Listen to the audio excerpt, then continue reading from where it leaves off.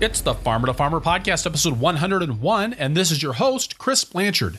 My guest today is Curtis Millsap. Curtis raises two acres of vegetables with about 22,000 square feet under plastic at Millsap Farms, just outside of Springfield, Missouri. He and his wife Sarah make a living from the farm with the help of their 10 kids, a full time farm manager, and one other employee.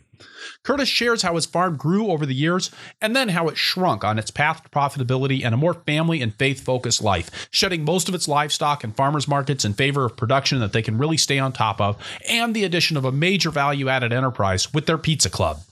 We dig into the Pizza Club and why they've structured it as a membership program and how that works on a farm that's wired for community. Curtis shares how they have leveraged seconds and family labor, including Sarah's skills as a pizza magician, to grow the enterprise and make it work. Curtis also lets us in on how they've created a farm that allowed them to take five full weeks of vacation last year.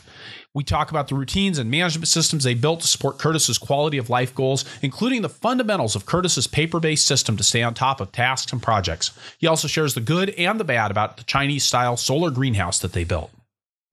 The Farmer to Farmer podcast is generously supported by BCS America. BCS two wheel tractors are versatile, maneuverable in tight spaces, lightweight for less compaction, and easy to maintain and repair on the farm.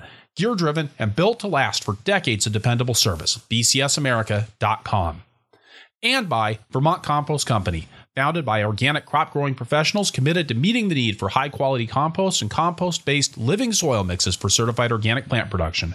VermontCompost.com and by Farmers Web, making it simple for farms to work with wholesale buyers such as restaurants, retail stores, and schools. Farmers Web software streamlines your wholesale operations, making it easier to work with your buyers and with more buyers overall. FarmersWeb.com. Curtis Millsap, welcome to the Farmer to Farmer podcast. Thanks, Chris. It's good to be here. I'm really honored to be here. I, I love the Farmer to Farmer podcast. It's been uh, the last couple of years since you started. It's been one of the high points of my week is when it comes out, and I've learned so much from listening to other farmers talk about what's uh, what works on their farm and what doesn't. I'm really glad to be here. Thank you so much, Curtis. It's you know the honor goes both ways because this this show doesn't work without people like you willing to give up an hour and a half of their day, you know, which isn't something that comes cheap when you're a vegetable farmer to basically lay out what you do on your farm for all of your competitors to copy. So, um, you know, thank you.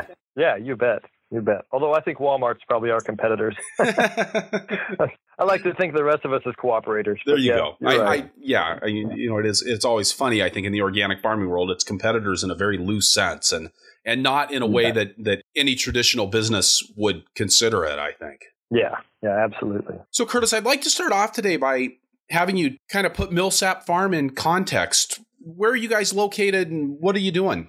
Okay, so we're in Springfield, Missouri, which is the southwest corner of Missouri. Uh, it's a pretty big metropolitan area, about 400,000 people.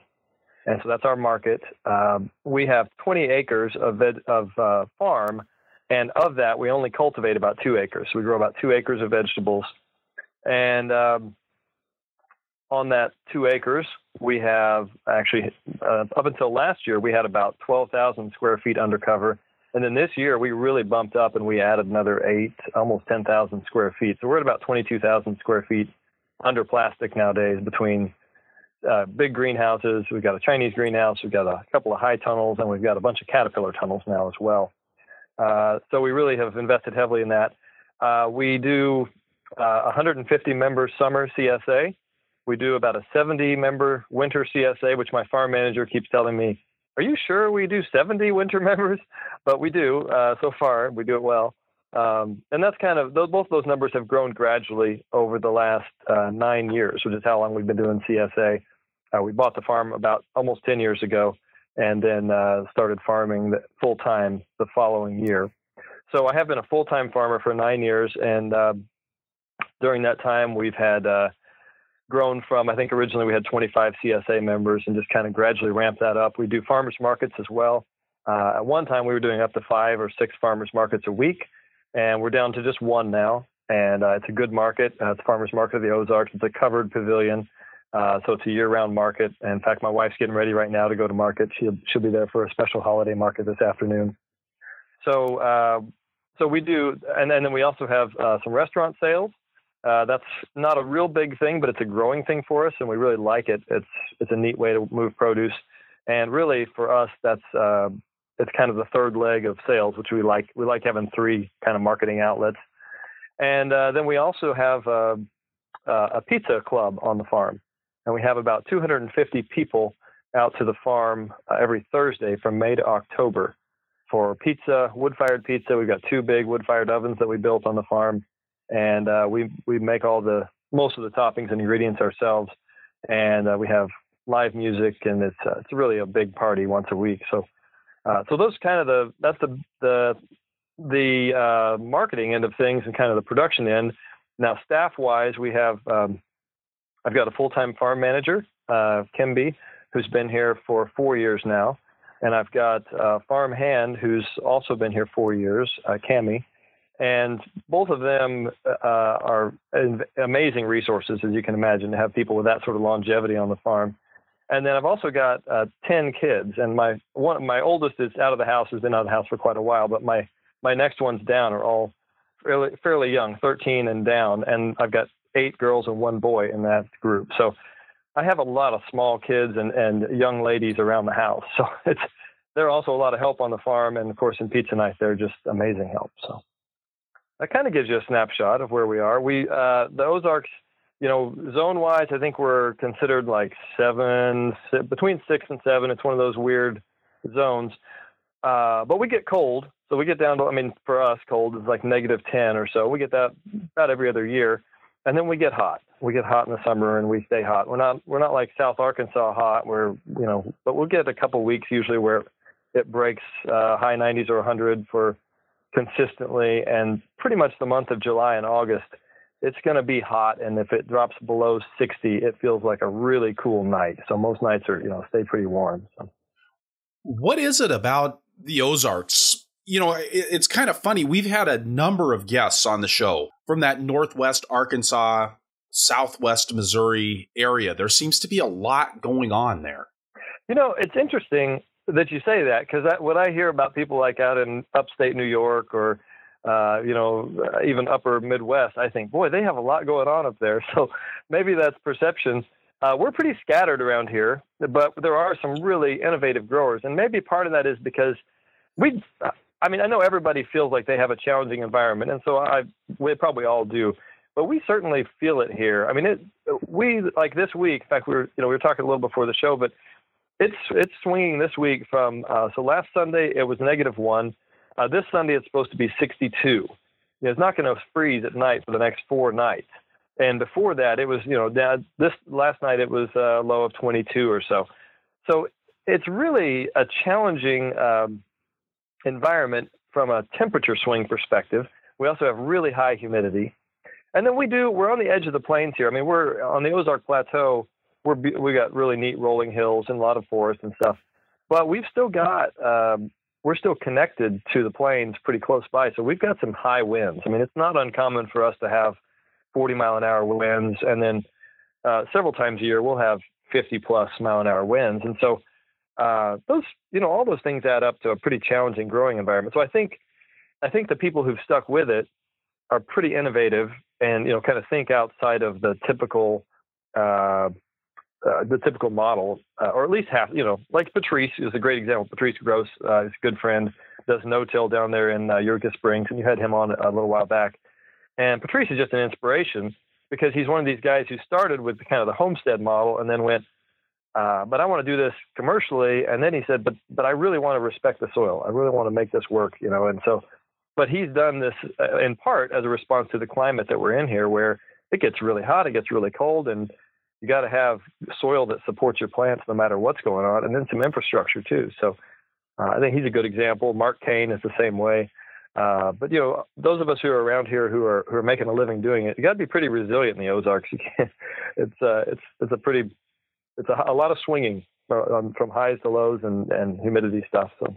And you said making a living, so you are making a living at this. I want to I want to back up a little bit because you've got you've got two acres of vegetable production. You you know a half acre undercover. You've got, but then you're supporting. You know, it sounds like two full time employees at least, and then uh, ten kids and you and and your wife Sarah all on the this farm. That's that's a lot from a little. Absolutely, yeah. We uh, that's a good theme actually for us. Is a lot from a little. Um, so you know, uh, my, my, wife and I, my wife Sarah and I, when we started this uh, nine years ago, uh, we really started from more of a, kind of a, a vision of community uh, more than really wanting to be uh, uh, agricultural producers, I guess. I mean, we wanted to farm, but our but kind of the motivation behind that was community, and I really think that stems out of our faith. I mean, we've we both grew up in in Christian church, and then we kind of both have uh, you know grown uh, over as adults into that into sort of a more full understanding of what that means to us. And one of the things that it really means to us is living in community and supporting the community around us, caring for the people around us. I mean, you know, I, I think I think the Bible really means it when it says love others as yourself. You know, I, I think that's a real thing. And so we um, we really wanted that to be who we were, what we were about. And so the initial part of that was uh, in in adoption. So the reason we have ten kids, or part of the reason we have ten kids, is because we have five biological and five adopted. And um, and so when we got married, that was a big part of what we wanted to do in the first place was to reach out to kids that are in you know tough places and bring them into our home and uh, and we both really love the outdoors. And we thought originally it would be kind of a sort of a uh, we'd work at a camp or a ranch or something like that. That you know was a sort of a youth program. We really didn't picture ourselves as as uh, independent farmers necessarily.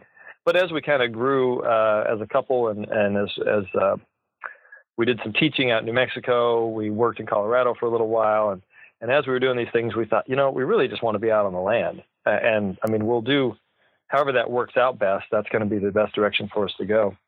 So when we moved back to the Ozarks, as we were expecting our first uh, biological daughter, and um, we're looking for what was next, I did some construction for a couple years, but we eventually bought this piece of land with the idea that it had enough space for us to include other families and other, uh, and by families I include you know single people and whatever, but but there would be other uh, people connected to us through this piece of land and it's really worked out that way.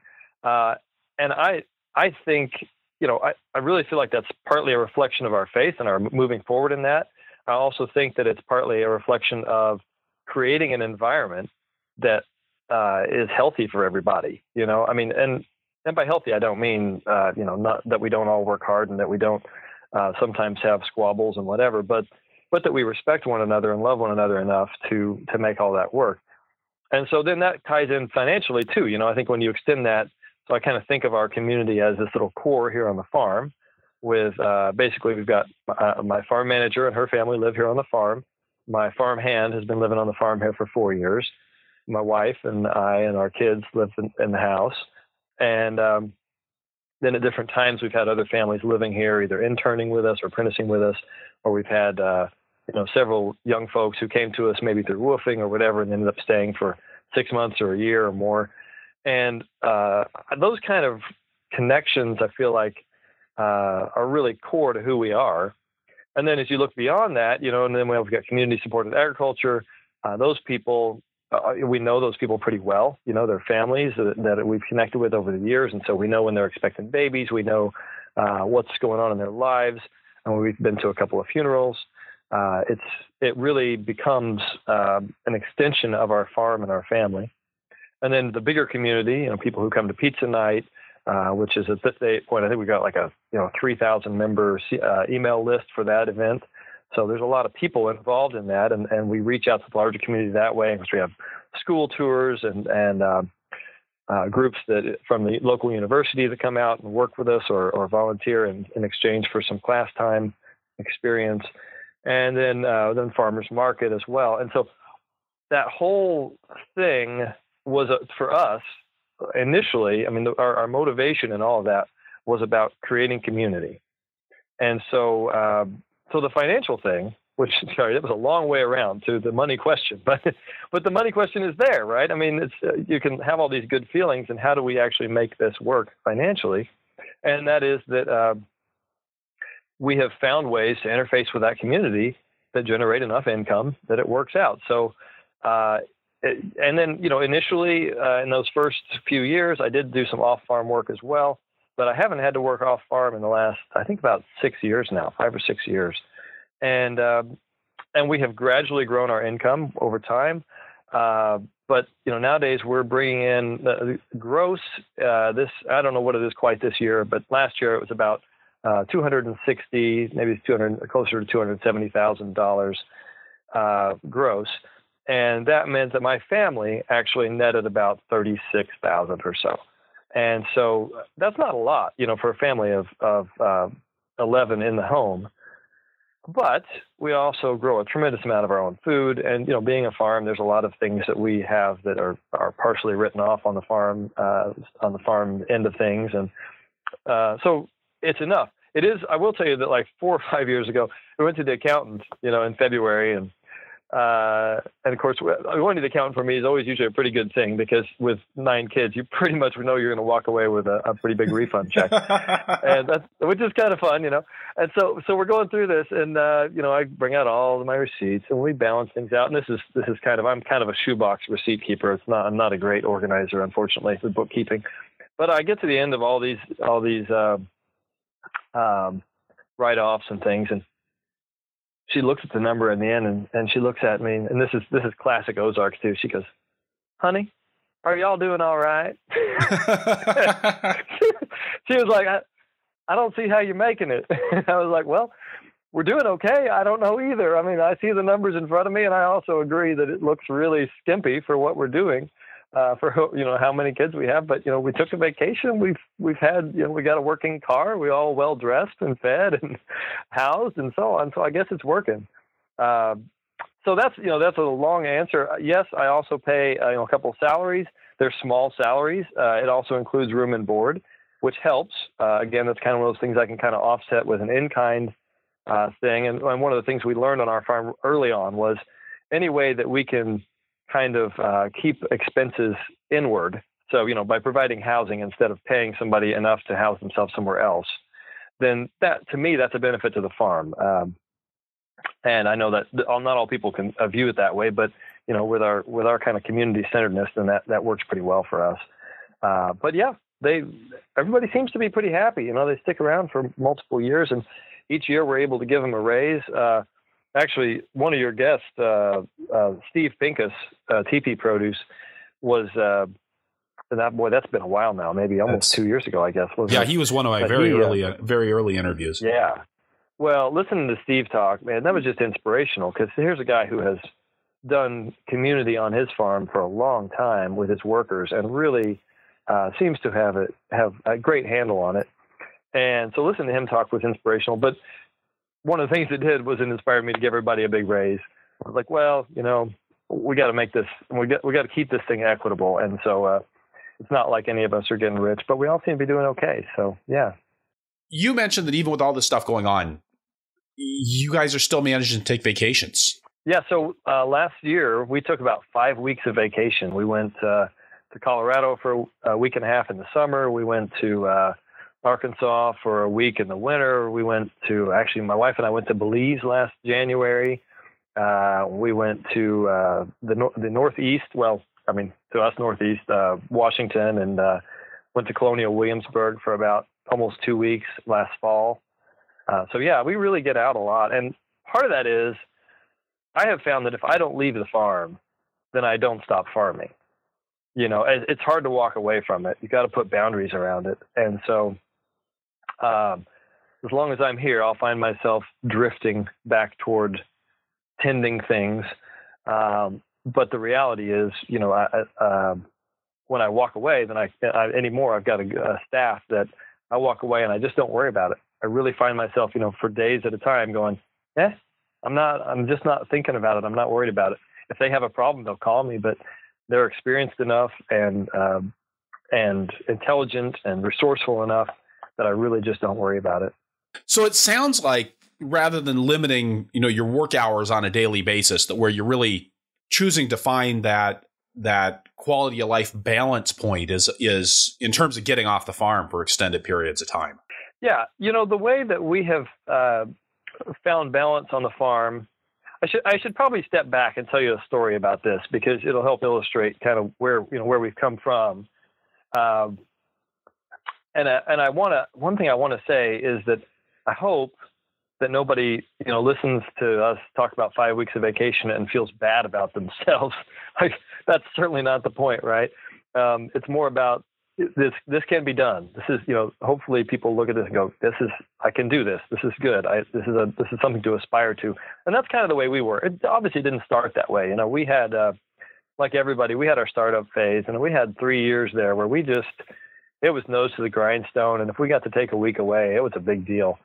Uh, and and so I started uh, farming originally. We started with uh, kind of a Salatin type model in our head, and so that's what we'd read, and that was interesting to us. You know, pastured poultry and so on. So we did pastured poultry. We had, uh, and then alongside that, we also did the vegetable CSA with about 25 members or so, and the farmers market. And uh, that was the first couple of years were the years we were doing like five farmers markets at a time.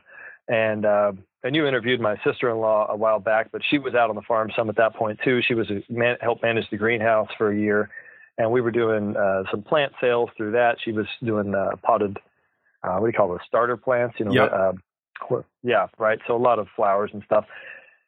And so we were just, I mean, we were burning the candle at both ends. And and I think, you know, to be fair, I think that's what startup is. I, I don't think anybody gets to start something up without having a real intense period uh, and that was us. And so we started out. We had about uh, the first year. I think we had a little less than an acre in vegetables, and then we had oh about uh, 500 uh, meat meat birds and uh, another couple hundred layers. And then we had uh, the next year we added some goats and we added some turkeys. And man, we peaked out about four years in, three years in, I guess it was, as far as overall work. We got up to seven acres of vegetables and uh, about uh, that summer we did I think 1,200 meat birds and 400 turkeys and about 800 laying hens and we had about 40 goats, which, by the way, is 40 too many goats, no matter what else you're doing in your life. And we had uh, we had about 30 hogs or so. I mean, it was it was a well, okay. So from one perspective, when people would come visit, they'd be like, "Wow, you guys are such a cool, diverse, organic farm, right?" Right, right. And then, but from the inside, it felt like this uh, like like juggling too many flaming balls all at once you know you knew this cannot go on you can't do this for long and um, and it took me a while to realize that you know i had uh, I, I burned out a lot of good health in the process and but really there was one kind of moment that was really an epiphany and the, the year before that, so this was three years in was the year we kind of peaked out at the seven acres, which was, by the way, a classic example of, you know, we, we did well with one acre, we did pretty well with two acres, and we were like, hey, if we go up to seven acres, we'll make a lot more money. when we, obviously that doesn't work that way. And it's one of, and it's one of those lessons you usually have to learn, you know, with a two by four oh, to the oh. head kind of a thing. It's, it's a, yeah. I mean, I, we did that on my farm with, you know, I mean, particularly with the chickens and the pigs. Yeah, yeah, which are fun. You know, I mean, livestock's cool and whatever, but but for me, so year year three was kind of the year we went. I went. I don't think I'm actually a livestock guy.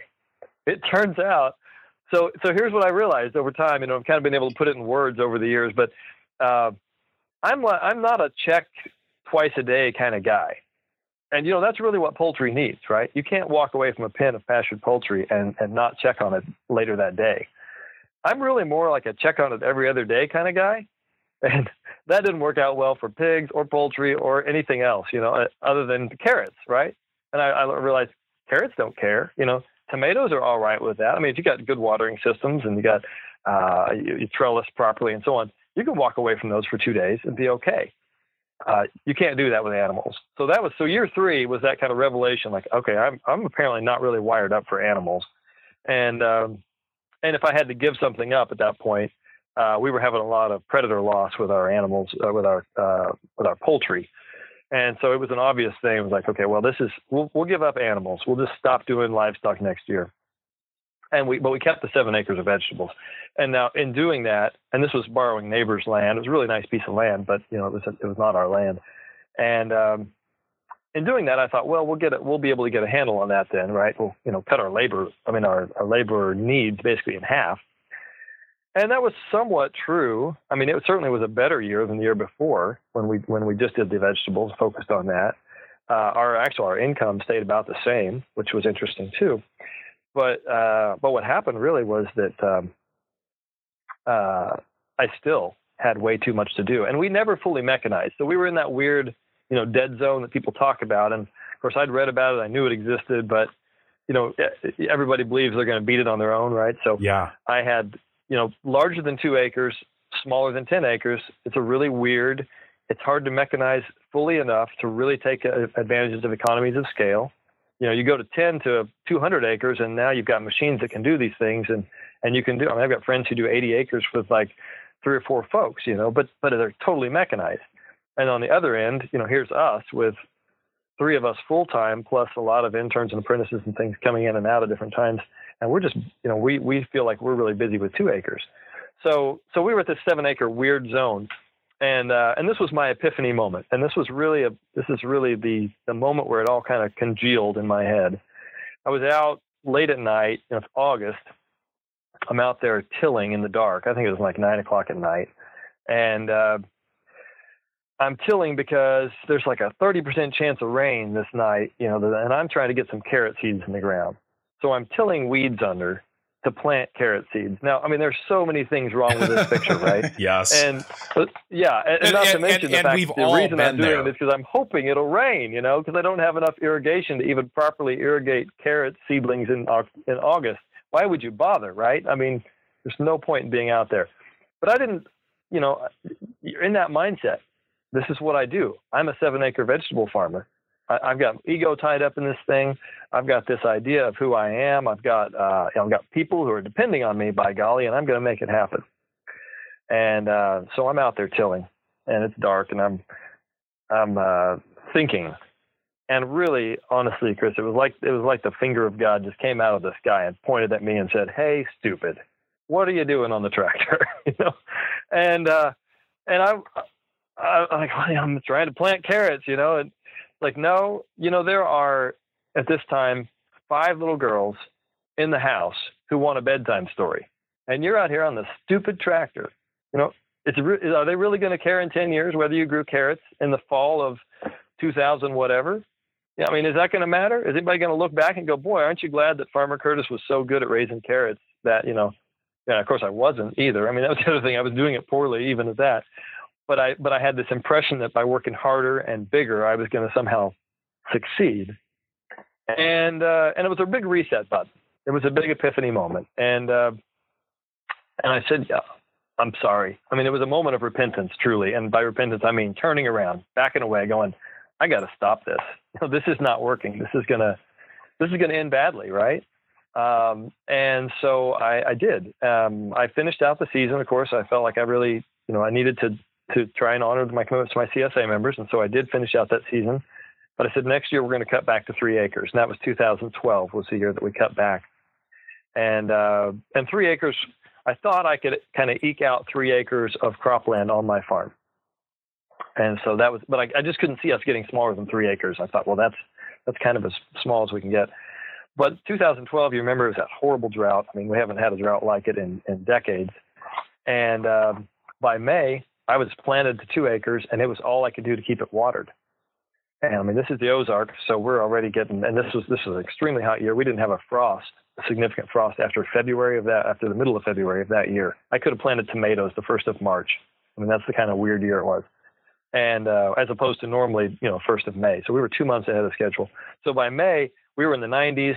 It's dry, it's hot, it stopped raining. It didn't rain again until September, and uh, I just said, you know, I'm at two acres. If I do anything more, then for the rest of the season, I'm going to be playing triage, and um, you know, deciding which crops are going to die because I don't water them.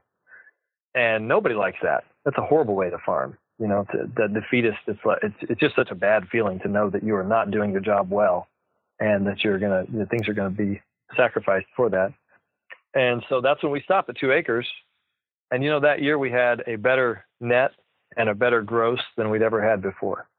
Uh, and that's, you know, to me, that speaks of the right amount of resources, both people, water, land, fertility, uh, machinery, all that applied to uh, the right purpose you know, and now we we understood better what we were doing. I had reset my priorities. I was saying, okay, remember this was about community. This was about family. This was about uh, serving these people uh, that are around me and loving and caring for them, uh, sharing the light of God with them. And I, it's not about how many stinking carrots you grow.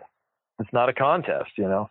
Uh, but it took a lot of ego. I mean, a lot of a lot of uh, ego dying for that to work. You know, because I was I was attached to this idea of hey, we grow seven acres of vegetables and we do poultry and we do goats and we do pigs and we do yeah yeah yeah.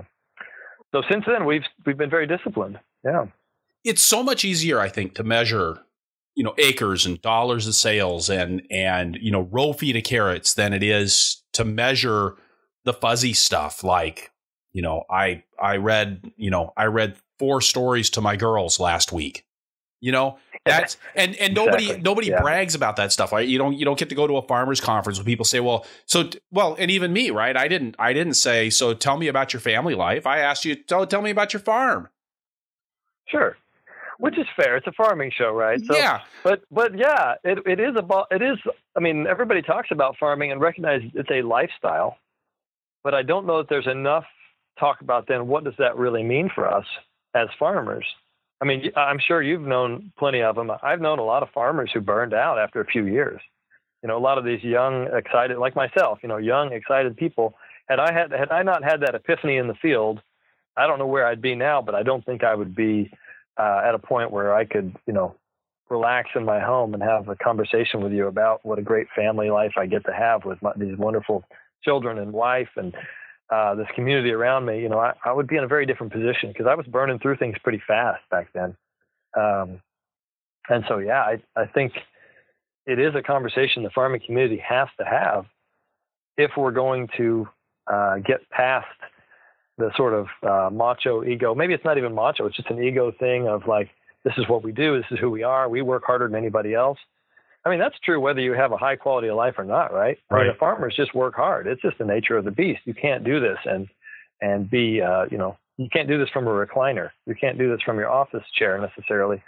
So, um, so it's it's important uh, that we have these conversations. And and I think uh, one of the, I've seen some really cool programs where uh, where farm beginning folks are partnered up with farm mentors and there are some of those now that are starting to include sort of a social work aspect of how do we teach farmers to have a more balanced life. I think that's really important. I'm I I like to see that, and certainly when I when I meet young farmers, to me, when I talk to them about best practices, when I talk to them about uh, using covered space or irrigation or any of that, I I want it all to be within the context of because this will help you achieve your real priorities in life.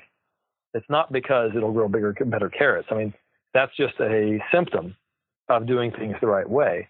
But uh, but really, the bigger issue is, can you meet your life goals that you set out in front of you when you started out the farm? Because you know nobody farm nobody sets out the farm to be able to have bragging rights as to how many how many tomatoes they picked this summer. Everybody starts out farming. All the people I've known start out with farming because they really are passionate about it they want to be involved in this really cool thing that happens when you interact with soil and seeds and water. And it's it's amazing, right? I mean, it's it is a creative act that there's hardly anything that compares to it in the world. But it also can become this absolutely uh, life-stealing um, vortex of emotional and um, soul-killing you know, time sucking, all this stuff. I mean, how many of us have known families that were sacrificed on the altar of the farm? And so, I'm that's that's my hope is that like people will will grab a hold of this and say, okay, there is a way to do this. Obviously, there's not a one size fits all. Um, for us, you know, it's it's meant this very small, uh, intensive production with a community farm, a pizza night, and so on. I also know people who do this really well and have huge farms you know, so it's not it's not a scale thing really, but it, I think what it is is mostly, at least for us, it's been about recognizing what's really important in our lives, and then making sure that those things stay at the front. And it's not, I mean, it is certainly not a one-time decision. I mean, I talk about that epiphany moment, and that was a big deal, and, and it's still a moment that I go back to. Um, you know, the the definition of faith is that uh, is not actually what we sometimes think. We sometimes think it's like trying to believe something that we don't really believe the definition of faith is remembering and choosing to believe what you knew to be true, even in times when it doesn't, when it, when there are, is doubt. You know, when there's when there's times when it seems like. So, for example, I think on my farm, um, one of my one of the ways I exercise my faith is by remembering when it seems like the most important thing that I need to get done right now is to make sure I get that extra row of whatever's in, is to remember that um, if that is in direct conflict with this thing that I really do know, you know, when I really step back far enough, I really do know that it's much more important that I raise my daughters and my sons to be wonderful people and uh, you know adults that commu- connect and communicate with the world and, and contribute and love people. Uh, then I go, okay, that that reminds me. I think I'll let these carrots slide today. I think I'll go inside and have dinner with my family. And so that's that's to me what a large part of what faith is about is that kind of constant remembering of the, the real truth. And uh, that's a challenge, right? I mean, it, it's a challenge for me every day. Uh, I don't, I certainly do not have mastery of this. I have, uh, you know, every week I have a day when I go, man, kind of blew it today. You know, I kind of, kind of got my nose down in whatever I was doing and, and forgot to look up and pay attention to the little girl who wanted me to see her little dress, you know, uh, and, or, or my you know, thir- now 13 year olds who had important, big life questions, right? They want to ask, but they're kind of shy. So you got to spend enough time with them to actually engage them. They're not just going to, you know, you can't just pop in for a 10 minute daddy session and be like, okay, I got 10 minutes. Tell me all your important questions. Uh, you really have to build that relationship with time and some of that time can be working beside each other, but we still have to be aware and choose those moments. And so that's, you know, and I, am honestly, I'm preaching to myself as much as anybody else. So don't, you know, don't sound, I'm not on a high horse here. I'm just trying to share because I think this is where we, this is where we really uh, sometimes lose it as farmers is we don't, we forget these things. The reason we got into it in the first place, we forget, you know, to remember these things. So so Curtis, you talk about the importance of, and you put it in terms of faith of of remembering every day that what's important and prioritizing that. I mean, that's that's a really easy thing to say. I know that in the past you and I've corresponded about uh, you know getting things done, David Allen's book, and and you know sort of systems for implementing the the values that that you want to live out in the world are there things that you've done? I mean, concrete structures that you put in place or things like that that that help you remember to make the time? So there's actually, I mean, there's a number of of things that have happened on the farm, or choices I've made on the farm, or uh, or even daily routines that we have on the farm that support those. So, uh, so I'll give you a couple of examples. Um, one is my day always goes better if I get up in the morning and have some quiet time. And for me, that means sitting down with a cup of tea and my Bible and praying and reading the Bible and, and just giving myself, myself time to meditate, think about the bigger picture. And, you know, if I do that, then I tend to walk into the day with the right, uh, the right mindset that, that kind of has, has, has those priorities in the right way, right?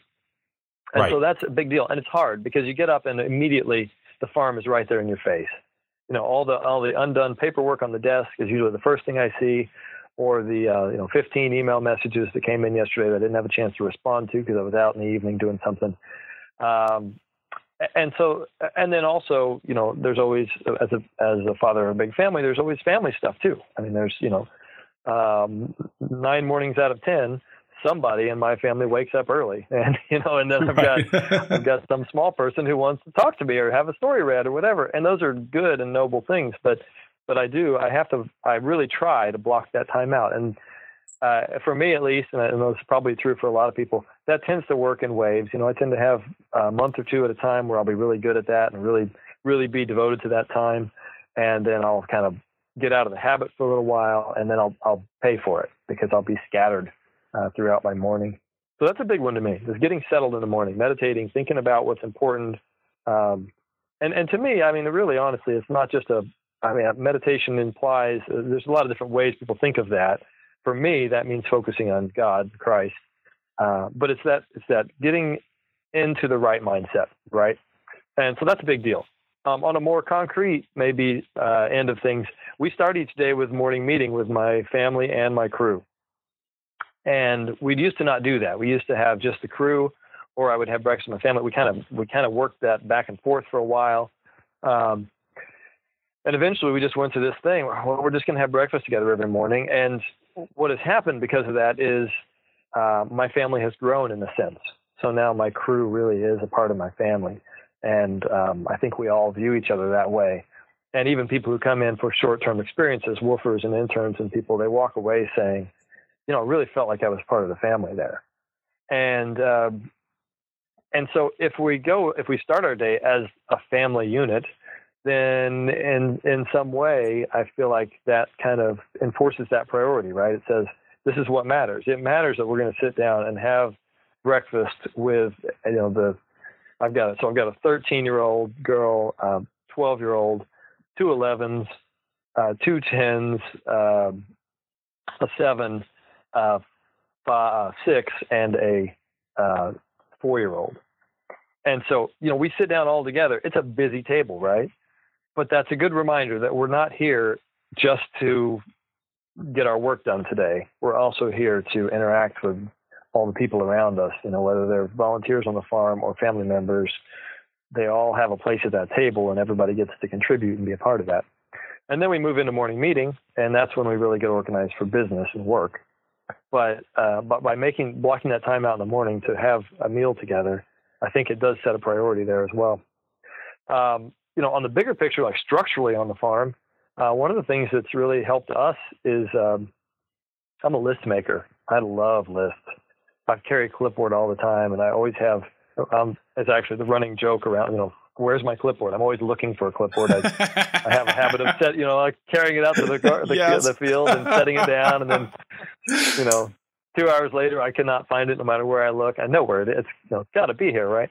But uh, but the, the clipboard is is really really key to me, and I have several of them. I have them organized anymore on a clipboard rack, which I love those things. Steel clipboard racks. Um, you can put like eight clipboards in them, and you can see the top of the clipboards. so you can see which one you're looking for. But I have you know one that's for uh, the shop. I have one that's for the field. I have uh, one that is my office, uh, you know, office top, and then we've got special project clipboards. So if we're building a, a tractor shed, if we're uh, doing a renovation project or something, there'll be a clipboard that's devoted to that. And you know, we've talked about uh, the, the getting things done uh, system, and that's kind of that was the idea. So it's capturing the idea as it comes into your head. And if you don't have a way to write it down, and, and I've tried, I've done some with my iPhone. I've, I've gotten more involved with that. I use reminders on my iPhone quite a bit just to capture those momentary thoughts, and it just frees up so much mental space. I found I find on days when I don't have my phone or or a notebook in my pocket, I get my brain gets cluttered with all these things that I'm seeing and no, noticing that need to happen.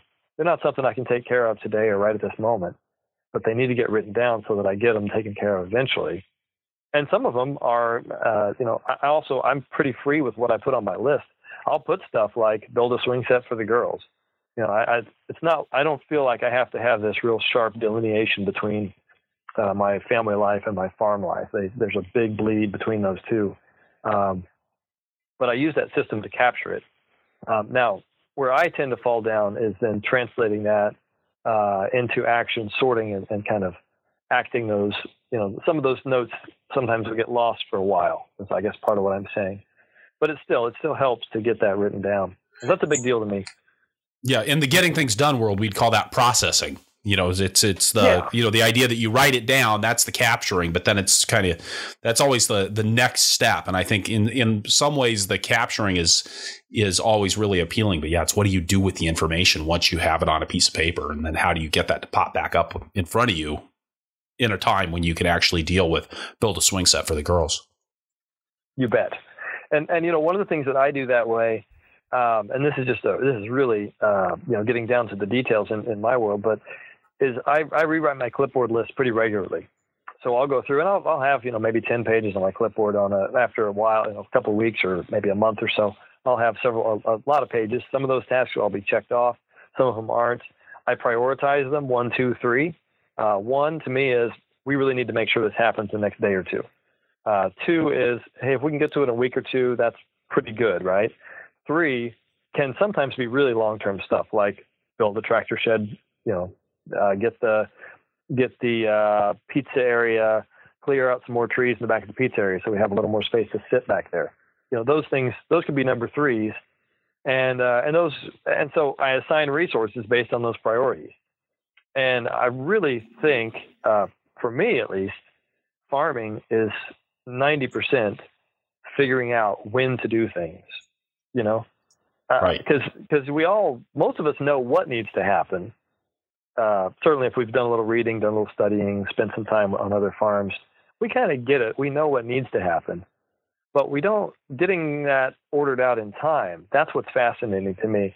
I was trying to remember. I was thinking that. Um, oh, it seems like uh, Ben Hartman had a lot to say about that and and timing, and maybe J.M. Fortier as well. But both on the show, we're talking about the value of learning to prioritize your time. And uh, and I, I've atta- I, I agree wholeheartedly. That's been something that's just always seemed to me like the most important thing I can teach my managers, my interns, apprentices is how to sort this endless list of things that a farm and a family generates into priorities and then being able to act on them. So that's the processing part of GTD, right? So yeah. Um, and I kind of have a different, you know, a different version of it, but it's the same concept. It is how do we take this list and make it into one, twos, and threes? And then part of my rewriting, which happens, you know, like I said, about every couple of weeks or every month, is I really do to start with totally clean piece of paper. Oftentimes it'll be a recycled piece of paper, so I'm writing on the back, but it's a clipboard, and I'm transferring, going through my list of what's been done, what hasn't been done, and I'm putting it on. And I don't, at first I don't prioritize it; I just write it all out there, and then I go through and prioritize it again. And uh, and that's how I don't. I mean, when that's working properly, and again, you know, it's one of those things that sometimes I'm doing really well at, sometimes I'm doing less well at. But when it's working really well, that's a good system for me. And eventually, stuff that's threes ends up moving up to twos, and eventually to ones. You know, and that's that's very gratifying when you look back and see. You know, a good example of that uh, back in oh, I think it was uh, 2009. Uh, not we hadn't been here very long. In fact, it might even been our first year. We had a woofer who came from uh, St. Louis, but he had been up in Wisconsin on a pizza farm up there. And he came and visited us and, and spent several weeks with us. We had a great time. Really enjoyed meeting Dave and spending spending uh, quite a while with him. He was so enthusiastic about these pizza this pizza farm he'd been on. He's like, "Man, this is so great. You guys would love this. The way you guys are wired up to, for community and everything, you would really love this." And so it went on the list. You know, it was this list. It was like build pizza oven, uh, I think at the time I was trying to use that like you know the month to month count uh, folder system with for GTD. Yep. Yep. And to get so, the tickler you know, I put file. it back in like the next year list. Yeah, it was like the the like 2014 list or whatever, right? And uh, then shortly after that, I really settled into my clipboard listing process, and so it made it to the clipboard, made it to the long term projects clipboard. I've got one of those, and those are all threes. But there are things that I know, you know, eventually, if this farm is going to keep moving forward, we want to do these things. And one of them that got on there was build a pizza oven. And it took like three years for us to get back to that, you know. Uh, finally, in fact, this was 2012, which ironically was that drought year where, you know, we, we scaled back dramatically. But because we did, suddenly we had just a little bit of slack time in our labor. And we were, and we had a guy who was interning with us that year who had some masonry experience. And I was like, wow, this seems like the perfect alignment, right? I mean, I've got the time, I've got the guy who's got the experience, and I've got I've had a little bit of time by then. I'd bought a book, kind of read up on it, had an idea of how it was going to work, and um, so the timing was right. And we put the pizza oven together in about four days. So it wasn't really that it took that much time, but it was that it took us, you know, three years to find the four days to do it. And then since then, we've built the second pizza oven. We built a shed over it, um, and you know, we started hosting these big pizza nights. It never would have happened if we hadn't captured that initial impulse that Dave brought to the farm saying, Hey, what about Pizza Farm? So that kind of stuff, I really, I do. I think capture is so important. And even if that stuff sits on a clipboard somewhere for a couple years before you actually get to act on it, it's still valuable. And then the other thing I love doing, and this is this is where this is getting like uh, a kind of nerdy, right? So, but I love looking back at old to-do lists that are checked off, right? Oh yeah. And in fact, if I yeah, if I do something that's not on my list, I'll go ahead and write it on there and check it off, right? hey, you know, I did it, right? I should get credit for it, even if it's only on my little piece of paper that's going to my file that I may never look at again. I want to make sure it makes it on the list. But uh, but that's that's the that's really the core of my getting things done system. Um, some of the other stuff I've been more or less successful with, but that clipboard thing for me, that's my capture and process system, and it, it works pretty well. Curtis, thanks for, so much for sharing all that with us. I, I, what I'd like to do now is take a break and get a word from our sponsors, and then we're going to come back and dig into, well, I think the, the Pizza Club, uh, the Chinese greenhouse, and some more information just on how you're actually growing your crops. You bet. Sounds good. The Farmer to Farmer podcast is made possible through the perennial support of BCS America. BCS two wheel tractors are often mistaken for just a rototiller, but it is truly a superior piece of farming equipment. Engineered and built in Italy, where small farms are a way of life, BCS tractors are built to standards of quality and durability expected of real agricultural equipment, the kind of dependability that every farm needs. I've worked with BCS tractors for over 24 years, and I wouldn't consider anything else for my small tractor needs. And I'm not the only fan. More than 1.5 million people in 50 countries have discovered the advantages of owning Europe's most popular two wheel tractor. And these really are small tractors with the kinds of features found on their four wheeled cousins and a wide array of equipment power harrows, rotary plows, flail mowers, snow throwers, sickle bar mowers, chippers, log splitters, and more. Check out bcsamerica.com to see photos and videos of BCS in action and by the perennial support of Vermont Compost Company, makers of Fort Vee and Fort Light potting mixes. Vermont compost potting soils are a really special product. I used Vermont compost Fort Vee as a blocking mix and potting soil for over 12 years on my farm, and we grew great transplants with it. And I mean really great transplants year after year, and we save time, money, and management hassles compared to mixing our own. At a time in the organic movement when we're seeing more and more companies jumping on the organic bandwagon, Vermont Compost is a reminder of the art and the craft of making a truly great potting soil. One thing I have always appreciated about Vermont Compost is their ability to put out a consistent product year after year. And in something that's subject to as many variables as market farming, it's nice to have something that you can count on. VermontCompost.com. And we're back with Curtis Millsap from Millsap Farms in Springfield, Missouri. So, Curtis, I wanted to ask about. I mean, I, I knew going in that we were going to talk about pizza, but I was curious to hear you refer to it as Pizza Club. Aha, yeah, Pizza Club.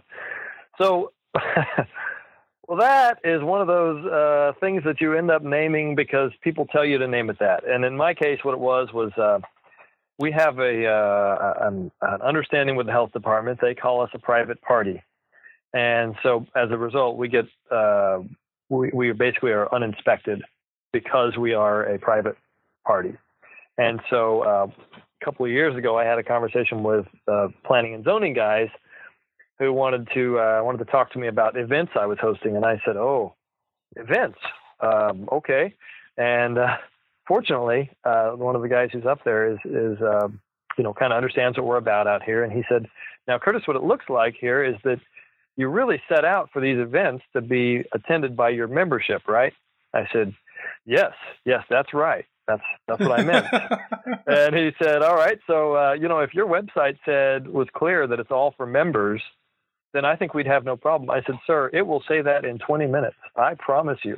and and that's been the last we've had to hear from the county. So so what our pizza club, uh, the way it works is when you come in, you sign up, and of course people sign up in advance, but they get we get their name and email um, and they become a member of the pizza club when they do that, and they they pay for their first admission to the pizza club. Uh, and so we use that terminology, and you know whether or not that will uh, keep us uh, on the on uh, keep the health department happy in the long term, we'll have to see. But right now, it works for them, and it works for us. And so that's kind of that. That actually is the origin of that, and it also reflects. I feel like it does in some ways reflects more accurately what we're about. This is not just a restaurant. This is very much a community event with, uh, um, I mean, we have like uh, about it's it's a pretty high percentage. I'm not sure what the actual percentage is week to week, but certainly uh, a, a super majority of folks who are returning uh, pizza club folks, and so and some of them will buy the moment we open up ticket sales in the spring. They'll buy all the tickets for the whole season for their family, so they'll come out every Thursday night, and it's, that's their that's their night out. So, uh, so people yeah, are why. buying a people buy a ticket to the to your pizza night, and then that gets them their pizza, or are they paying for the pizzas in addition to that? No, it's a it's a buy. You're buying an entry uh, for twelve bucks, and then it's all you can eat pizza. So yeah, And the reason we do that, uh, we actually have we looked at a lot of other pizza farms, and people do it differently. Most places have pizzas you order, right? And that's kind of a standard restaurant model.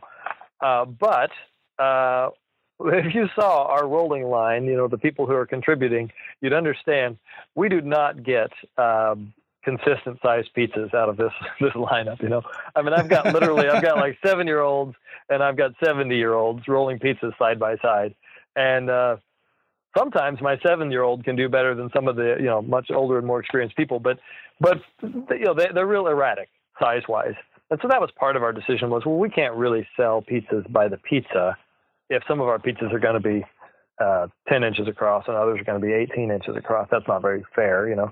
Um, and then the other thing was, it's really, we want it to be a mixer. We want it to be a social event.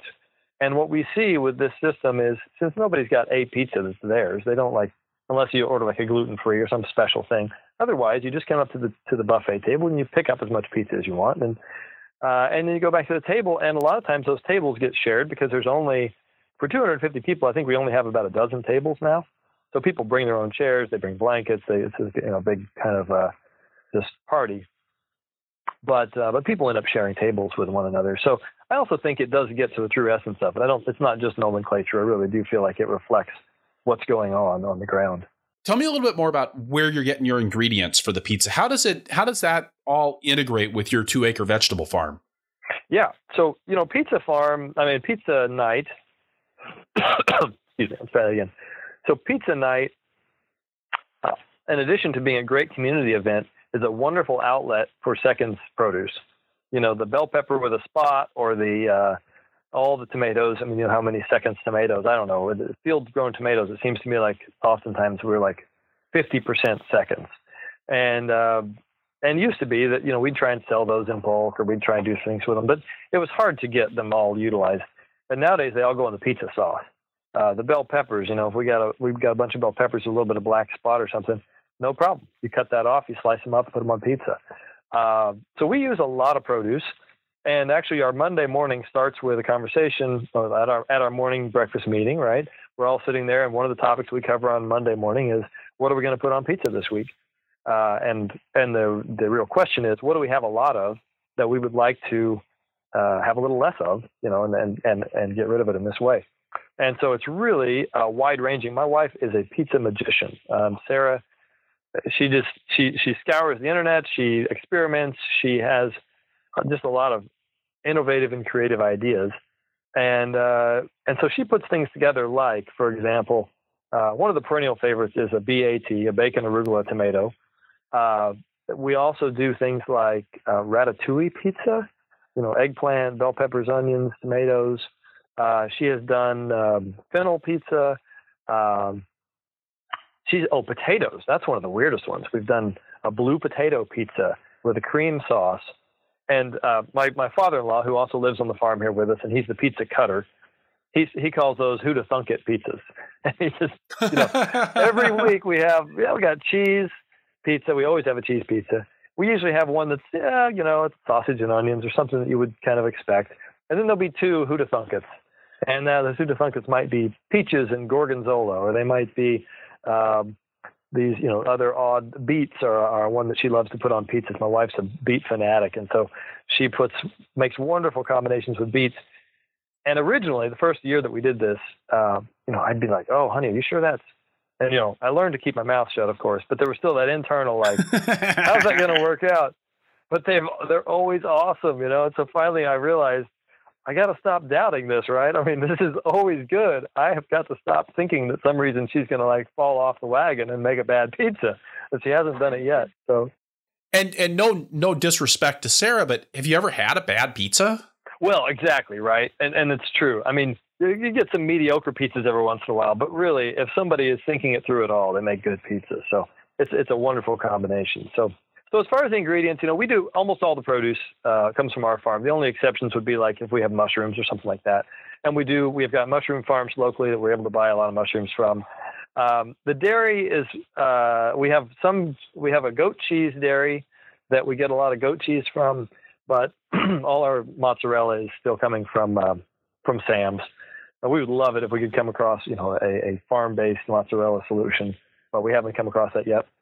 Um, and then, uh, but all our tomato sauce we raise on farm. We buy organic flour. You know, we're not really in a good uh, hard wheat raising region. It's it's a little too warm down here for good good hard wheat. So uh, so we don't really have a local option on that. We do raise a lot of the corn that we use for cornmeal. Uh, we have an heirloom corn variety that we raise. It's a red corn, and we grind that for the cornmeal for the uh, skids. So you put the you know, roll out the dough and then set them on a skid with cornmeal under it. Uh, so yeah, we we do we locate a lot of the stuff here locally, um, and uh, and then we get really creative with it, and that's that's been the the thing that people really remember. People come out uh, because they just think it's intriguing to come out to the farm for pizza, but they walk away remembering one that we had these incredibly creative pizzas, and two that they just had this amazing experience on a farm, and that's really what it always comes down to is that people say this, and I, I really like this phrase. People will say, "I just didn't know there were things like this anymore." And what I realized after a while was they don't really mean like they can't if they were going to try and pinpoint it they don't really know quite what they mean by that. They can't point back and say well there must have been things like this in the 40s you know it's not like that. But what they really mean is like this is the way that i thought things were supposed to be like i thought i was supposed to be able to go and enjoy a meal with family and friends in a totally low key environment with wonderful food and delightful music and a place where the kids can go and play and enjoy and i feel safe and on a beautiful location where we've got you know rows of flowers and vegetables and greenhouses and forests and lawns and things for them to hang out in and enjoy. That's really what they mean with all that. And to me, that's the most important thing about this whole thing: you know, excellent food, and then this this uh, all-encompassing experience. And uh, let me say too, I think that you know we uh, we live in this culture where people are so disconnected from not even just the source of their food, but the countryside in general. I mean, creation, right? I mean, people people live their whole lives getting in their cars and their garages and driving to work and getting out and going in the in the building and come back out in their car and they go back in the house and you know they go sometimes for days without ever setting foot out in the yard, let alone actually getting out where there are trees and things growing and birds and such. Um, and if they do go out in the lawn, it's to mow it. You know, it's just I mean Granted, grass has to get mowed if you're going to keep it short, but but the when they come out here and they connect to the bigger sky and the the trees full of stuff and a little bit of wildness back there in the woods, you know? I mean, I tell people, don't go too far back in there. There's poison ivy, right? I mean, that's what all that stuff knee high, like as far as you can see, that's poison ivy. Don't go where we don't mow. But but you can look out there and you can see so much going on. I think that really uh, is something that people are craving. And so that's part of the experience that we're providing here too, is that connection. And then also, of course, the connection to the amazing thing of taking a seed, putting it in the soil, and then it actually turning into a full size plant. That, that's something that people don't do anymore, which is amazing to me. I mean, I grew up gardening. I, I've done it, you know, as long as I can think, but I meet a lot of people who really have never planted a seed. And I, I think that's really if we can do something in this world, it's to get people to connect with that. And and from my perspective, what that's about is when you get connected to that, when you get connected to the land and the soil, uh, it's it's creation. You got you can't be out there for very long before you start thinking much bigger thoughts than the thoughts you were thinking when you started. You know, you, you come at it with the thoughts about all the long list of things you have to do and all this stuff. And uh, I think most of the time when you're out there in the field long enough or you're in the soil long enough, you start to think about what is this all about? What's going on in the big picture? And to me, that leads us to the really important things in life. You know, it makes us step back a little bit and look at the look at the universe, the creation around us, and all that from just eating pizza. You know, so it's a pretty good gig. and so this whole project started in you said in 2012 when you had a little bit of extra time because of the drought. Can you yep. tell us how Pizza Club developed from there? So uh, in 2012, we had that little bit of extra help to get the pizza oven built. And so uh, immediately, as soon as we, you know, 10 days after we built it, it was dry enough to fire up and try pizzas. And we were like, wow, this is really good. I wish we'd done this four years ago. Uh, but we were, you know, we weren't really ready. And I, honestly, I'm like a jump in the deep end of the pool kind of guy. And my wife, Sarah, is to some degree too. I mean, we do have 10 kids, you know, so obviously we're deep into the pool kind of folks. But uh, she was not really ready to like put herself out there commercially as a pizza chef, right? So I was kind of ready to try and sell some tickets, and she was like, "No, let's just practice on friends and family," and that worked really well. So we uh, we took about this was about six months or so where we did we hosted a lot of family birthday parties, friends' birthday parties, um, but we didn't do anything for pay. We just did a lot of fun times with family and friends. And really, in hindsight, I think that was great. I mean, my wife is wise beyond her years, so so she really did see that and and, and understood how that was going to work out. And then by spring of 2013, we were ready to try kind of get our feet wet in in doing it a little bit for for profit. And so we didn't really know quite what that was going to look like. We hadn't tracked our expenses closely enough, or, or you know, really thought through a lot of the logistics of it. But we started saying, well, we'll just we'll kind of advertise through our CSA. We're having a pizza night this week. You know, if you want to come out. I think our first pizza night in 2013, uh, that was a commercial pizza night. I think we had like 30 people. You know, so it wasn't a big deal and frankly, it was also one of those things where like, well, that was a lot of work for 30 people. We're gonna, we're not going to do that. I mean, if that's if that's as big as we're going to get, that's not going to work in the long term. But it was fun, and um, that summer it grew gradually. I think um, by the end of the summer we were running about 100 150 people regularly, and that was when we realized we needed a second oven uh, to keep up with demand. And by that time, we had built the pavilion. It's just a long, uh, simple pole barn shed over the top of the ovens and uh, we had started to kind of sort out different equipment for our rolling tables and such pretty pretty simple stuff, but stainless steel tables, things like that, that we had located, and uh, and we had set up our lights, so we had kind of an evening venue, and uh, and at the end of that year, end of that summer, we started having music, and that really was a game changer. Uh, I can't overestimate or over over exaggerate what a great thing having live music at an event is it changes it from just being kind of a casual gathering of a few people who might have a conversation with one another to it being a party. And I'm not talking about, you know, obviously not a big raucous, you know, uh, kegger or something. I'm talking about a really a celebration, an enjoyment of one another. You got music, you got good food, you got uh, it's a BYOB event. Uh, we don't sell the only drinks we sell are soft drinks and things, but we do allow people to bring in beer and wine and alcohol. And uh, so we that was a turning point for us. The end of 2013. Uh, by the beginning of 2014, we were filling up regularly, selling out about 200 uh, seats or 200 people, and that's actually adults. So when I say 200 adults, we're bringing in probably another 50 or 60 kids regularly. So really, on uh, average Thursday nights now, we're running about 250 adults, which is probably more like 300 with kids, and we're charging $12 a head for adults, uh, all you can eat pizza, and $5 for kids. And we don't actually have people pay in advance. We have them reserve in advance. And we cut off when we meet, reach, reach our 250 people. And so we're usually selling out now about a week and a half, two weeks in advance, sometimes as much as a month, depending on the, you know, as we get closer to the end of the season, people try, try and cram in, make sure they make it to the last few. So, uh, but it's really grown. One thing, you know, that I think if anybody's thinking about doing this, you really have to figure out where's your labor going to come from. In our case, uh, we have our, of course, our on-farm help, and they're a big part of this. Um, they, are just key to making it all happen. Cami is is uh, she is the prep master. She gets down there and preps all the surfaces, all the uh, all the uh, pans, washes and cleans and stacks and sorts, and then uh, divides out the dough. My my two daughters, my two oldest daughters, make the dough, and they make buckets of dough in advance. We put them in the walk-in cooler so they can sit there for 24 hours or if we don't use them because of the weather uh, changes and we can't have an event, we'll go ahead and save them for the next week. So that's a that's a real uh, big deal. And then we also, um, my wife spends most of the day, most of Thursday, prepping the the final toppings. You know, and, and she has a lot of help with that.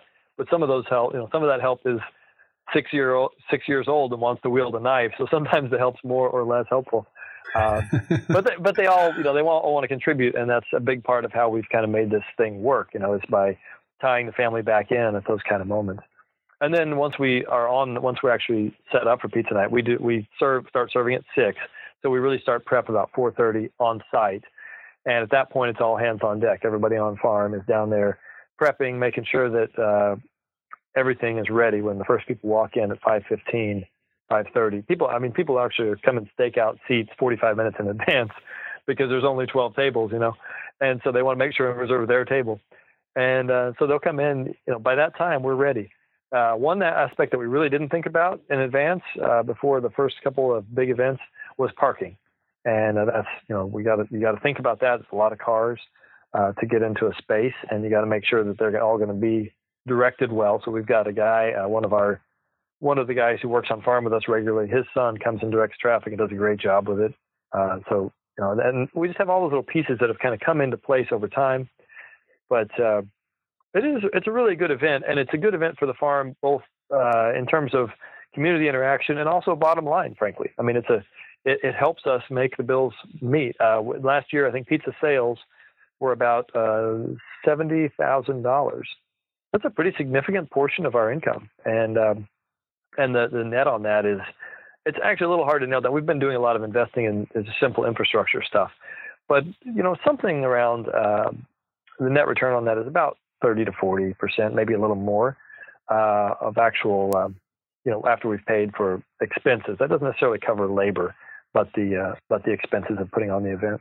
So always hard to account for labor when you're when you've got six year olds cutting up peppers. You know, you know, actually, Department of Labor gets a little touchy about that. You start putting them on the uh, on the on the timesheets, and they start to think this is a problem. So, yeah, yeah, but they they love to be part of it. You know. I also wanted to circle back about something you'd mentioned at the uh, beginning of the show. You said you've got, in addition to all your high tunnels and regular greenhouses, you guys have a what you call a Chinese greenhouse. Yeah. So you know, we started covering space right away. In fact, we bought this place because it had a 6,000 square foot greenhouse on it. That was the initial attraction to the farm, and it was it's a 40 year old big structural greenhouse. And so right away, we recognized there are huge advantages to covering your growing space. And you know, we talked about some of the challenges of farming in the Ozarks, but I mean, the, the first year that I covered my greenhouse out there, um, I covered it in October. January, we had a freak thunderstorm. It was like 70 degrees, and it dropped literally baseball-sized hail on my greenhouse plastic. And uh, you know, it was devastating.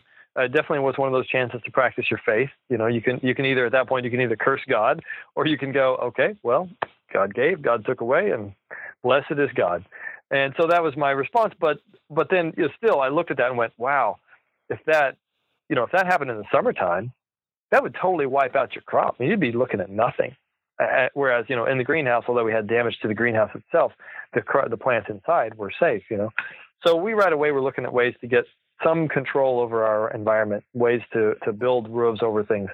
So we've done a lot over that over the years with that, with high tunnels and so on. But the the Chinese greenhouse in particular was a model we saw. Um, Sanjun Gu, who used to be the uh, the horticulture specialist for the state of Missouri, Lincoln University, actually, um, he was he's from China and he had worked in these greenhouses over there, and he gave a presentation at Great Plains uh, Growers Conference, which, by the way, that's a great conference. Anybody who's looking for a conference, um, we went to Great Plains and saw him present about these. He was calling them Chinese earth tunnels. I've heard him called a lot of different things, but the basic premise is you've got your north wall is a, a some sort of structure. It's either masonry or in China, oftentimes even just packed soil that's been cut back with a backhoe or something. But it's a it's a big earthen wall on the north side with a berm, and so that berm goes all the way to the top of your greenhouse. And then the, there's a little short north roof, and in my case, it's about four feet wide and then it draws. You know, the rest of it is a south-facing glazing slope. It's double plastic over metal hoops, pretty typical uh, high tunnel greenhouse structure. And then it's got nor- uh, east and west ends are also concrete blocks with earth berm. So what I ended up using for my structure is these big, what they call concrete um, waste blocks. And they're what what happens to the ready mix concrete that goes back to the plant. They dump it in these forms, and uh, and then when it sets up, they you know they pull it out and they sell it and they sell it for a fraction of what it would cost you to buy concrete. So these were a good resource right. for us. We kind of we struggled with that for a while, figuring out how are we going to hold this soil back. And um, as we are in a we're in a zoned county, so we had to build something that that met their standards. So we, we got it engineered. We had this looked at by uh, a structural engineer, and he stamped it. And then we started stacking up blocks in this kind of L, you know, U shape. We dug out the interior. We put that soil on the back, and so the whole thing's set in the ground about two feet. And uh, and then it's got you know all this massive structure around it. So uh, our overall structure is 22, uh, sorry, 24 feet deep by 72 feet long. Now, only thing I would do differently if I could build it again would be to build it longer because it really it's a it's a great structure and I wish I had more space in it. But in that space, uh, we've got almost a hundred and see what was it? Three thousand pound blocks and we had a hundred of them, so it's almost three hundred thousand pounds of concrete, and um, and that's a that's a lot of mass right there. And then you got that backed up by all that soil that's banked against those walls as well. So what you've got is this huge thermal flywheel. And um, you know, I've seen other models that people have built that are not that are they'll call them kind of Chinese greenhouses. But one of the things we really wanted to do when we when we went to build ours was just build it as true as possible to what we could find on uh, in Chinese websites and photos and things like that. Um, I don't speak Chinese. It was rather difficult sometimes to discern exactly what we were looking at because you know it was almost always the text was always always in Chinese. But uh, we got a pretty good idea, and the, and the, the commonalities were this thermal mass walls, uh, south-facing slope, always dug into the ground a couple feet, um, and then this the north little north roof. And so I had looked at other things that people had built in the states or in Canada, and and none of them quite worked to just stay true to that model. And my thought was, and I had looked in the numbers, and now it's kind of slipped my mind because numbers sometimes do, but I mean it's it's thousands and thousands of acres that are covered by these in China. They're growing the majority of their winter vegetables in these kind of structures. Um, and when Dr. Gu presented about this, he was showing pictures of himself standing in a Chinese greenhouse uh, beside mature cucumbers and watermelons in February. And he's saying, you know, this is no supplemental heat. This is a climate very similar to what we're experiencing here in the Midwest. Um, he said maybe a little less wind. That was the big difference. But in terms of temperatures, highs and lows, it was very, very similar. And uh, and I was hooked. You know, I said this is this is brilliant. So so that's how we got started. And then once we built it, you know, there's been a learning curve. Obviously, um, it's a it's a little bit of a difficult structure to ventilate because you don't have that second wall to open up. Just got we got one drop curtain wall on the south side. Um, it's been a little challenging to figure out drainage. It's two feet below the ground level, so uh, we've had a few floods in there. We now have a big sump pump in there, and that keeps it drained out uh, as long as the power doesn't go out. Um, and we've also struggled with grow media. You know, we tried originally some grow bags in there, uh, long grow socks actually, and I love the concept. I really did. But the first time our media was really high, uh, high um, pH. It would turn out to be like a seven seven or even an eight one or something. It was really uh, way too high for vegetables, and uh, so that we didn't know that. We bought it as compost, thinking it was growing compost, and there was a miscommunication. The guys thought we were just using it for uh, erosion control. So it's important that people know what you're doing with your soil. Um, and then they they very graciously replaced it with uh, better compost.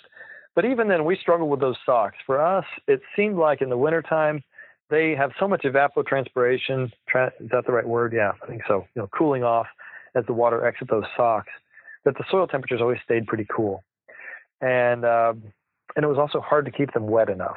Um, so so we eventually got rid of the socks and went to just uh, raised beds, and they were just used oak one by twelves to to build these raised beds and fill them with compost and some soil and kind of you know a, a little bit of everything, but mostly compost and and we've had no problem since then really with our grow media. It's it's worked really well. We have used those grow socks in other settings and had better luck with them. So I think there's something about the combination of that structure and these grow socks that was kind of a bad combination. Never really quite sorted out what was going on there, but but the but the Chinese structure in general, it is the most temperature stable structure on the farm. Uh, last weekend when we got down to negative one, I got up uh, a couple times in the night. I one night I did the fire feeding. One night Kimby, my farm manager, did it. But you know, we were traipsing across the, the, the farm to feed the fire in the big greenhouse to keep it above freezing. We've got some fig trees and some uh, other things in there that we didn't want to let freeze yet. In the Chinese greenhouse, I didn't even worry about it. I mean, I just I know that it's going to be okay. We got a slight frost which nipped our turmeric. Uh, we have a bunch of turmeric still growing in there. Well, not growing now because it's nipped, but it was until last weekend. And um, and it's it just holds its temperature so well. It's amazing. Um, we've had the lowest temperatures that I've dealt with with it were uh, negative 13. We had a cold snap about two years ago where it stayed in the in the you know zero and below zero every night and and quite a bit below freezing every day for uh, about a week. And even in that long cold snap, we still only saw frost in the in the Chinese greenhouse of about maybe 25 or so. So you know we still got head lettuce, carrots, uh, radishes, turnips, beets, anything you'd want to grow uh, that's you know a cool weather crop. You can still pull off marvelously in this space. So it's, it's been a good space for us. What kind of media are you using in those raised beds now? We have uh, for for media we've gone back and forth. Originally, we had all that compost that was in the socks, and so we did cut some of those socks open and, and amend it. Um, we felt like we still were having some pH problems, so we we did add some sulfur to that to bring it back up and bring the pH down a little bit. And then uh, the bigger thing that I think happened was just that compost matured. I really think that was the main problem was the compost was still fairly hot. And I think, you know, you just can't grow good produce in hot compost. It's, it's very hard. Um, but since then, uh, we have mixed some soil in. At times, we've had access to uh, some topsoil, either from uh, you know renovation projects around the farm, or uh, we've also done a lot of wood chips in the bottom of the beds. So um, we have uh, chipper crews who bring out a lot of wood chip uh, piles to us, and so we always have uh, you know several hundred yards of wood chips sitting around, and, and ideally we let them sit for a couple of years, and then we found if they've sat for a couple of years and mostly decomposed, they'll still be chippy. But if you put that in the bottom six or eight inches of your of your foot tall raised beds, and then top that with a nice layer of compost on top, it really makes a nice growth media. Um, and then over time, you know, you can't even tell they're ever wood chips. Of course, it turns into this beautiful humus down down deep. And so, uh, so we're able to grow carrots in that, and that that kind of is my gold standard as far as are we doing well with what our soil's doing is uh, can we grow nice long straight carrots? Because you know we don't uh, it's not just rocks but there's so many things that come into play in that. But um, we we do some really nice stuff in those these days. Compost wood chips soil uh, native soil uh, have been the main ingredients for us. All right, so we're going to take a quick break, get another word from our sponsors, and then we'll be right back with the lightning round with Curtis Millsap. This week's lightning round is brought to you by Farmers Web, software for your farm. Farmers Web makes it easy to work with your buyers, saving you time and increasing the number of buyers your farm can work with overall. Use the software to inform your buyers about your farm, your product availability, delivery days, pickup locations, and more. With Farmers Web, your customers can place their orders online, or you can enter them for buyers who place their orders by text, phone, or email.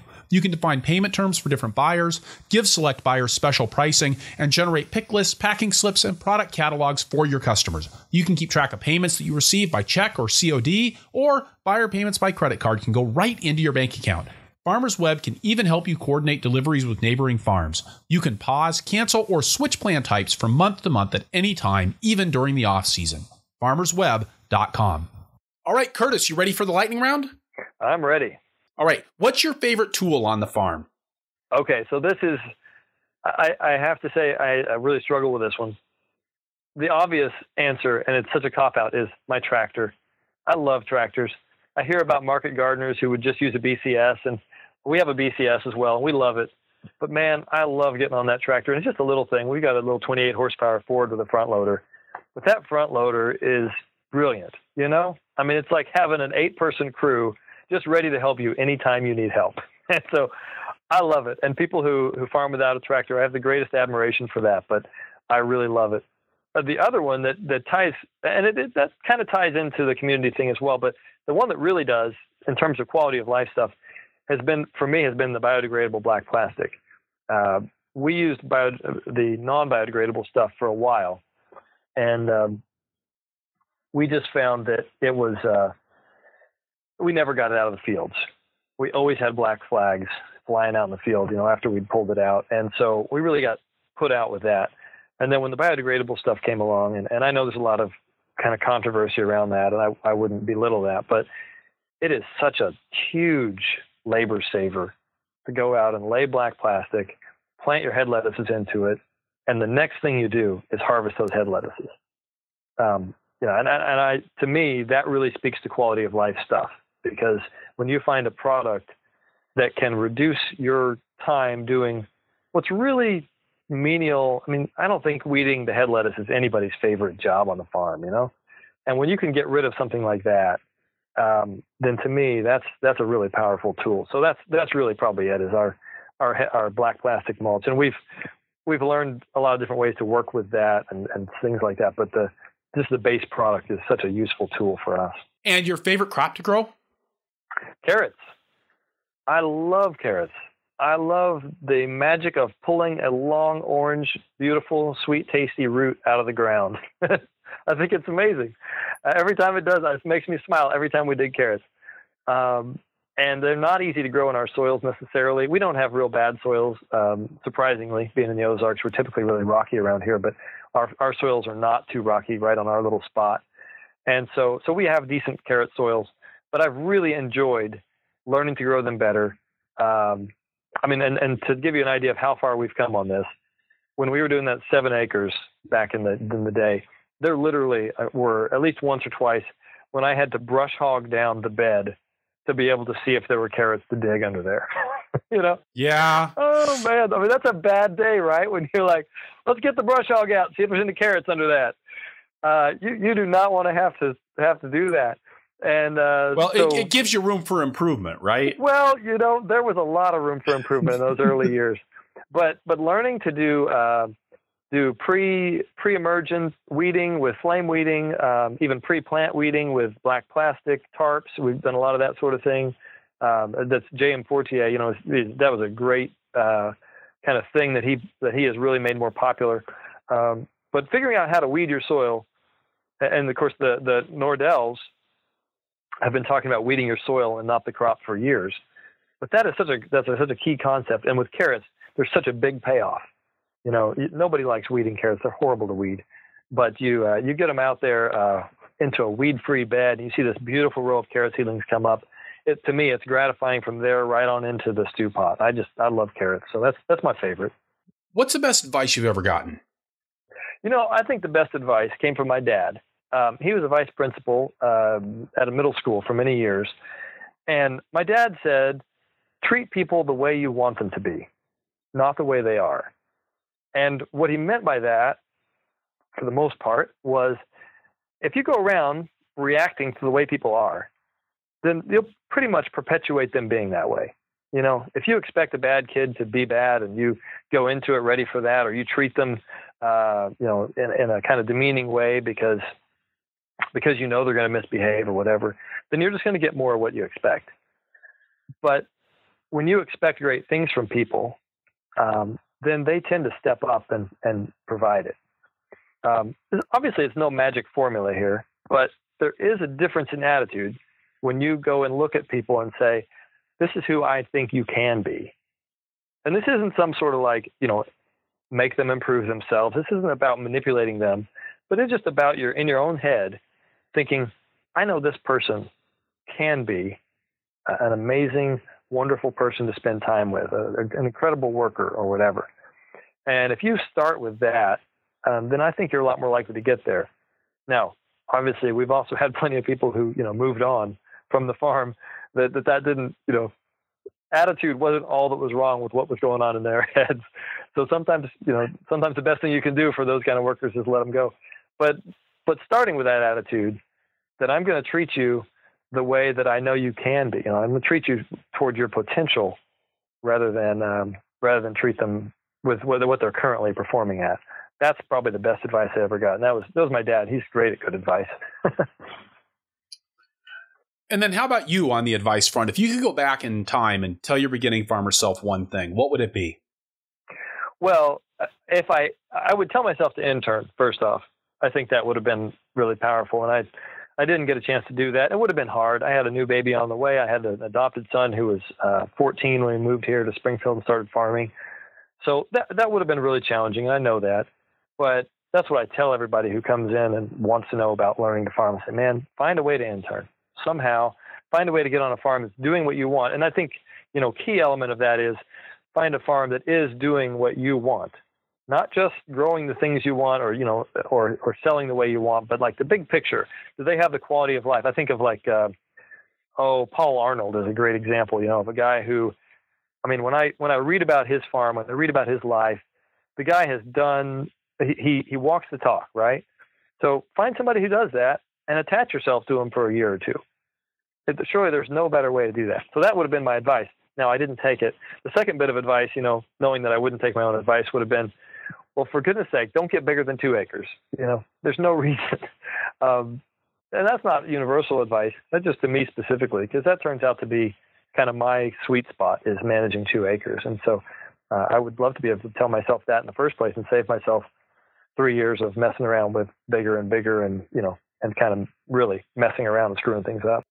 Curtis, thank you so much for a really insightful and informative hour and a half here on the Farmer to Farmer podcast. Thank you, Chris. And thank you for what you're doing. I tell you, I mean, I've, I fell behind this summer, which was a big bummer. I've, I've missed about 20 episodes. I'm going to catch up on this winter, but I never fail to learn something from a farmer to farmer podcast. And certainly a lot of that is the guests who bring wonderful expertise and knowledge, but a lot of it is you're, you, you do a great job of interviewing people. And I really appreciate that. I want to tell you thank you for that. So thank you for having me. All right. So wrapping things up here, I'll say again that this is episode 101 of the Farmer to Farmer podcast. And you can find the notes for this show at farmer to farmer podcast.com by looking on the episodes page or just searching for Curtis. That's C U R T I S. Transcripts for this episode are brought to you by Growing for Market. Get 20% off your subscription with the code podcast at checkout. And by Earth Tools, offering the most complete selection of walk behind farming equipment and high quality garden tools in North America. EarthTools.com. You can get the show notes for every Farmer to Farmer podcast right in your inbox by signing up for my email newsletter at farmertofarmerpodcast.com.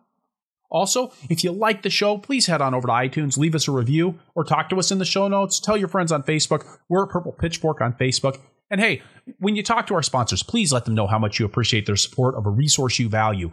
I really couldn't do this show without them.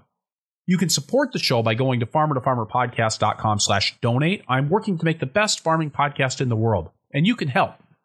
Finally, please let me know who you would like to hear from on the show through the suggestions form at farmertofarmerpodcast.com. I'll do my best to get them on the show.